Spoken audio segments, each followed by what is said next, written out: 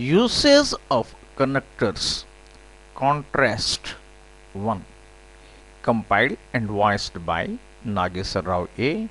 English teacher Sri Prakash. Let us study the following sentences. He is 85.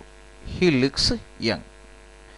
We join above two sentences using the connectors of contrast as the above two sentences contrast each other. Now let us learn how to join the above two sentences using the following connectors.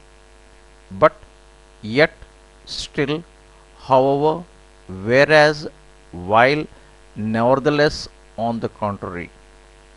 If we read the above two sentences very carefully, we observe that first sentence talks about the actual status of the subject and second sentence talks about its contrast. Hence, the above contrast connectors should be added to that sentence which talks about the contrast.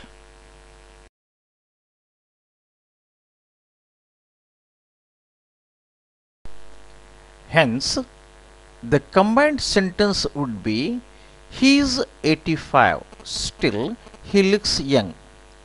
He is 85, but he looks young. He is 85, yet he looks young.